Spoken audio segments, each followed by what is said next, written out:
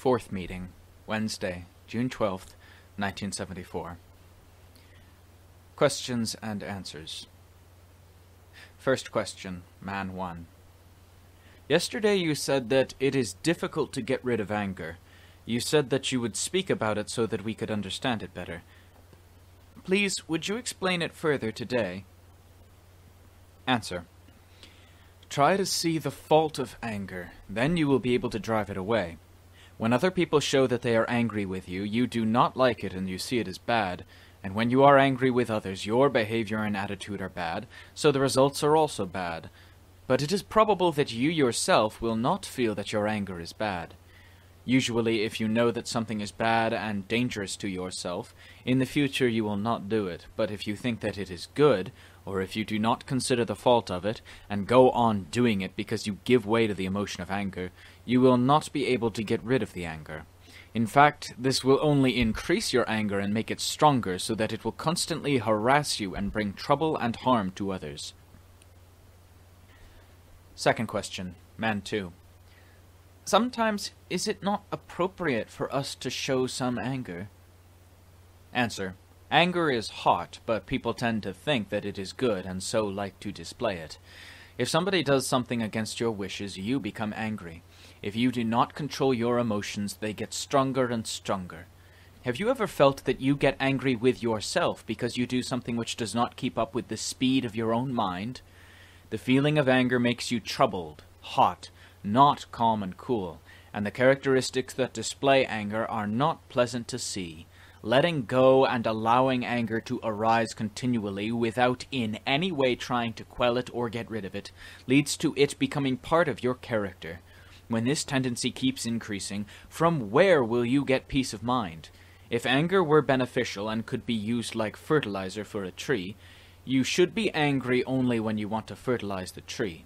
But since you cannot control anger and use it like a fertilizer, it is not appropriate to display it at all.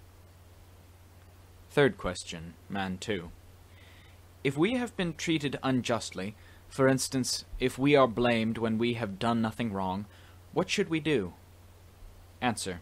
You should act appropriately with reason. The Lord said that to act in any way which is led by greed, hate, or delusion is bad. If you release your mad emotions and do harm to others when they accuse you wrongly, then having been good, you will also become bad, which is a bad thing for all people who are concerned about virtue.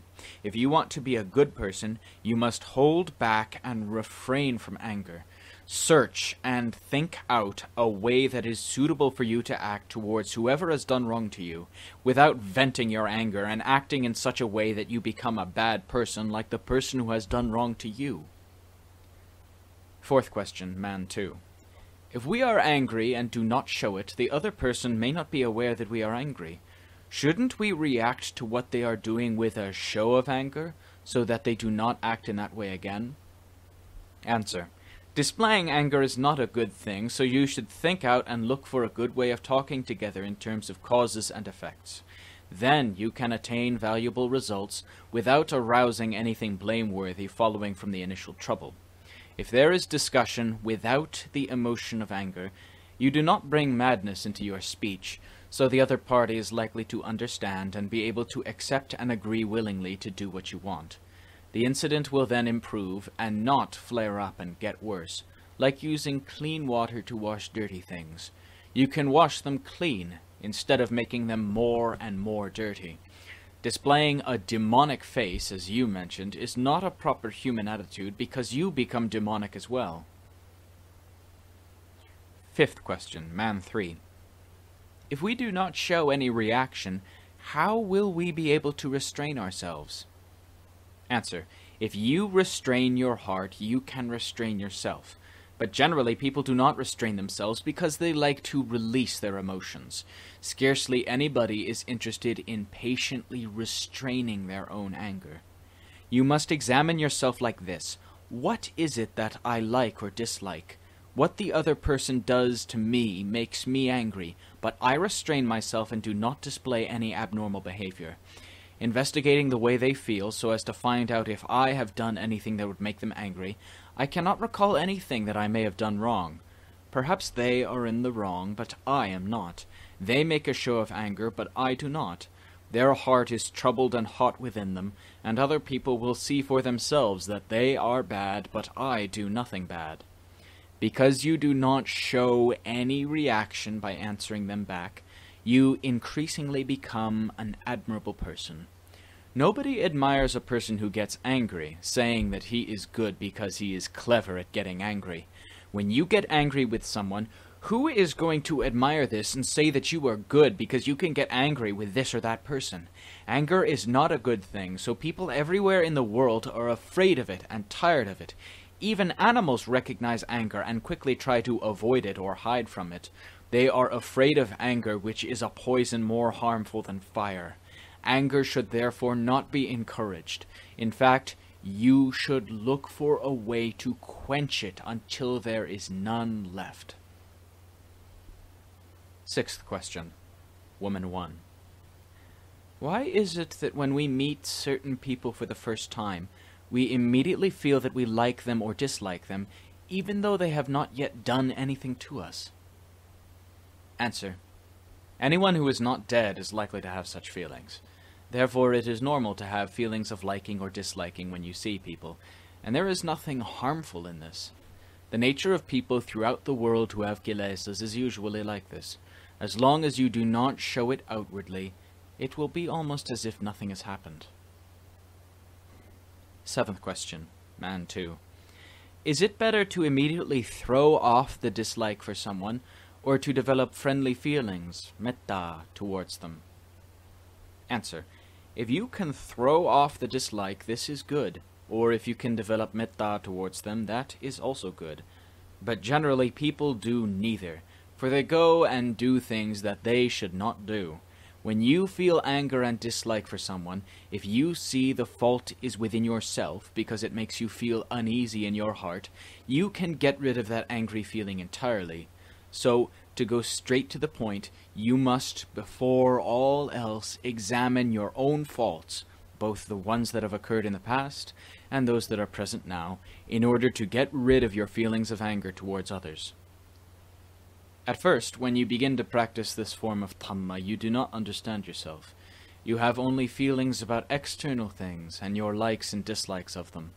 When you begin to observe other people, you see how people display the characteristics of anger, and you don't like it, so you try not to display such characteristics towards other people. Acting in this way, you begin to understand your own citta. Doing this often, your awareness of yourself and your citta will also arise more quickly. Then, as soon as you are the recipient of someone else's display of anger, in whatever way it may come about, you know yourself and you can quell your emotions. In this way, you can get rid of your defilements, kilesas, little by little, and reduce the dukkha and anxiety in your own heart. Dissatisfaction with people is nothing but dukkha, which accords with the Dhamma that the Lord taught, but mostly we oppose Dhamma, which is right, good, and proper, so we generally find dukkha all the time without feeling any dread of it, which leads us to encounter dukkha again and again. Eighth question, Woman 2. How should we correct the anxiety and agitation that we experience due to an excessive concern for other people? Answer. Whatever you do or feel excessively is bad, so it is a cause of dukkha. If you are responsible for someone in a given situation, you should consider it circumspectly, trying to anticipate and correct any problems which may arise.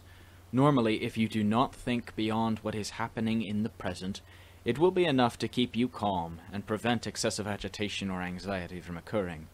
The word excessive should be understood to mean that which is beyond what is sufficient, and this always causes nothing but dukkha.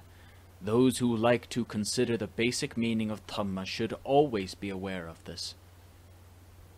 Ninth question, Man 3.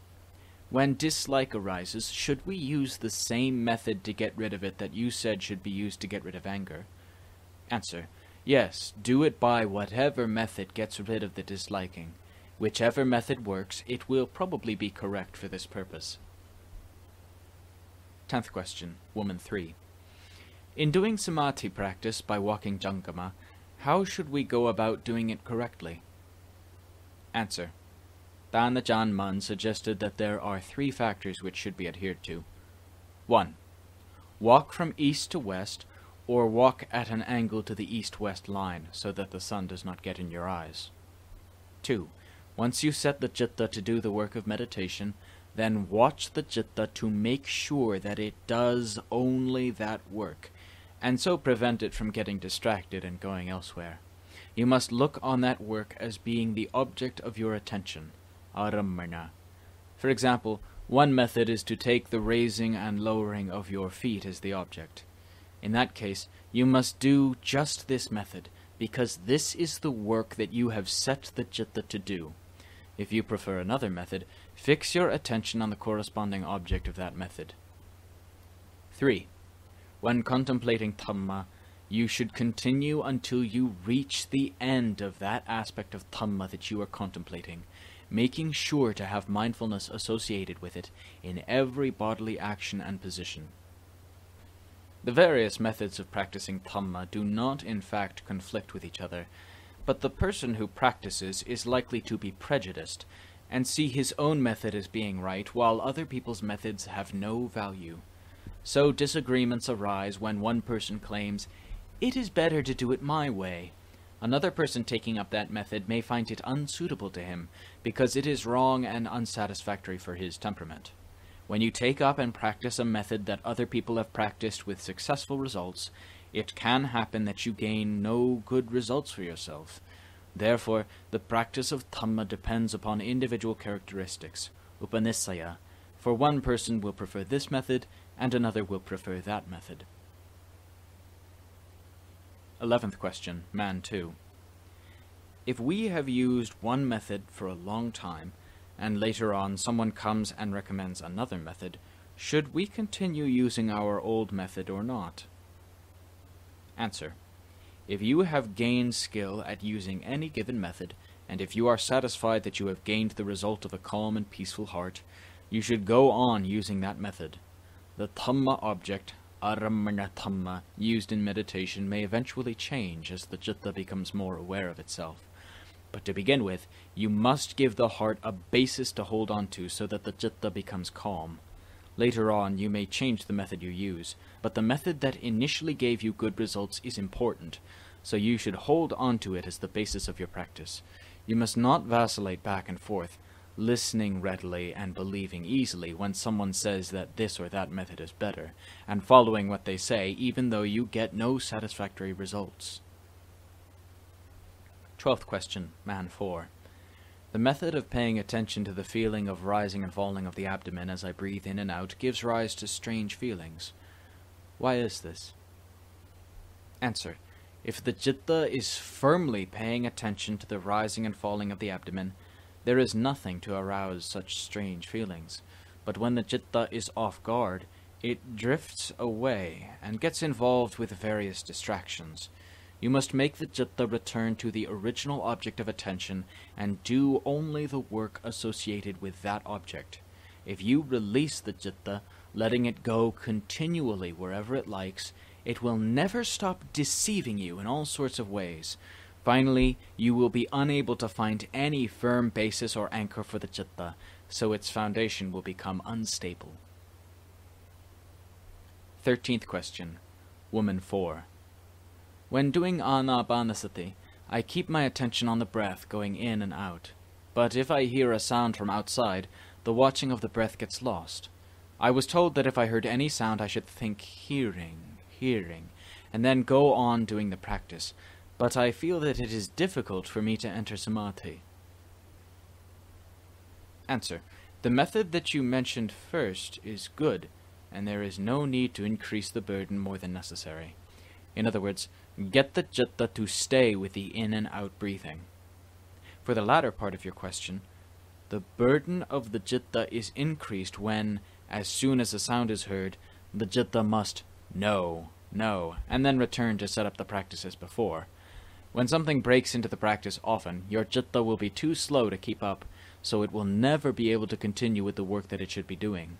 When you are a beginner at meditation, the citta does not yet have much strength, so to greatly increase the burden of the citta is not good. It is like getting a child to do work that must be gradually explained in each of its aspects. If you explain how to do too much of it all at once, the work will become too difficult. Then laziness will arise, causing the child to dawdle over the work. The citta is much like this. Fourteenth question. Woman 2. Can we contemplate parts of the body while walking Cankama? Answer. To begin with, you want to get the heart calm. When the heart has attained a state of calm, and then withdrawn from that calm state, you can focus the citta to contemplate and develop understanding step by step. The nature of the contemplation may take the citta away from that calm state, but at that point you must not be anxious about whether the citta is calm or not. Simply press on further with the contemplation. The work of the citta is done firstly for the attainment of calm, and secondly for the elimination of the inner defilements, kilesas.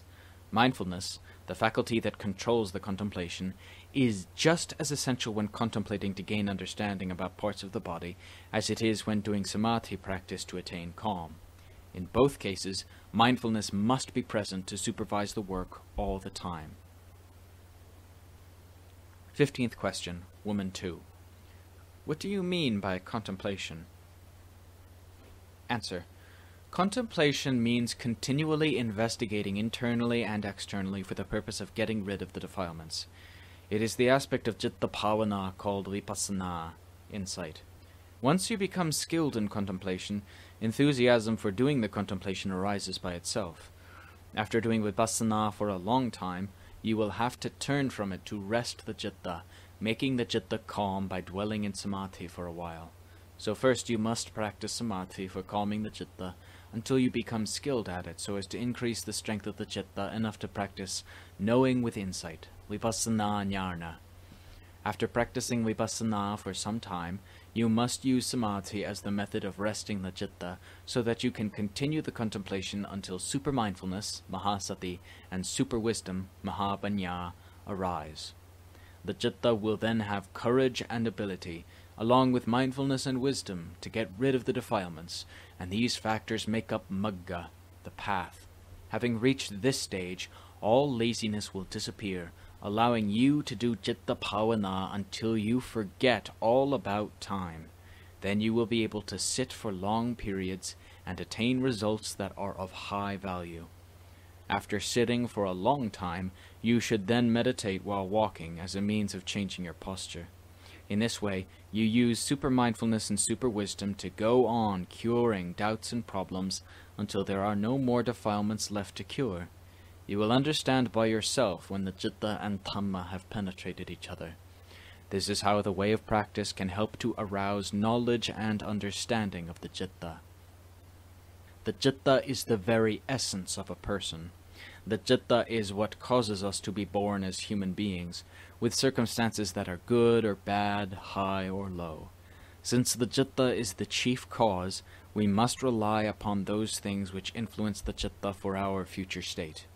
If we develop the citta well, we can rise up until we reach the stage of sugato, one who has great happiness. But if the citta accumulates bad things, even without knowing that they are bad, the results which one gets will be bad all the time.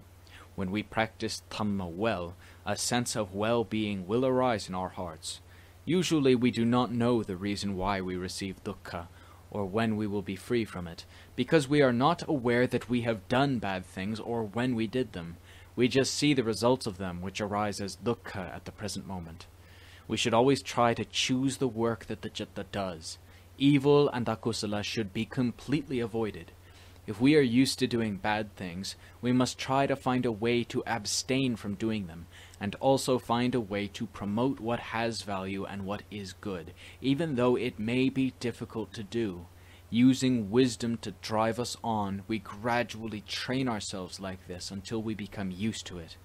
But lazy people and those who do not like what is good are no use at all because they have no wisdom to drive them on. When people love what is good, wisdom compels them to do good until the citta is used to it. then results of calm, peace, and happiness will come. It may also happen that something strange and wonderful of a different kind arises spontaneously in the citta.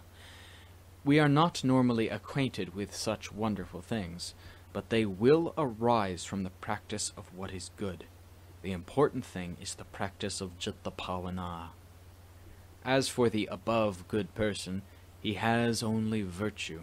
He is not distracted, and he is not at cross purposes with Dhamma, with other people, or with anything else in the world. But the person who does not yet have the power to control his mind and make his thoughts, speech, and actions always go in the right direction, the direction in which they should go, which leads to those results that bring happiness, must purify and cure his citta using the methods of meditation practice that cause the bad things within him to disintegrate. Those things which are dignified and noble will then develop and increase in his heart, which by way of nature has a very high value. If you practice following the way that the Lord Buddha taught, you will become a wise person. Then, when you train your citta, you will understand the nature of your own citta better than anyone else. But if you practice following the way of someone who does not truly know, it will be like the blind foolishly leading the blind. You will be unable to walk the right way to reach your desired goal. If you are not prepared to let yourself be led by someone who truly does know the way, then the more you act in that way, the more stupid you become, so you will fail to see the good results that you expect. Cleverness must depend on mindfulness and wisdom to look for reasons and results. People in this world do not become good on their own without making any effort. They must rely upon learning, and they must have training in meditation. Training raises the citta to a higher level. If you lack training, your citta cannot go higher, because the defilements will pull the citta down until it cannot escape. But the well-trained citta can get rid of the kilesas, and be transformed into something of the highest value.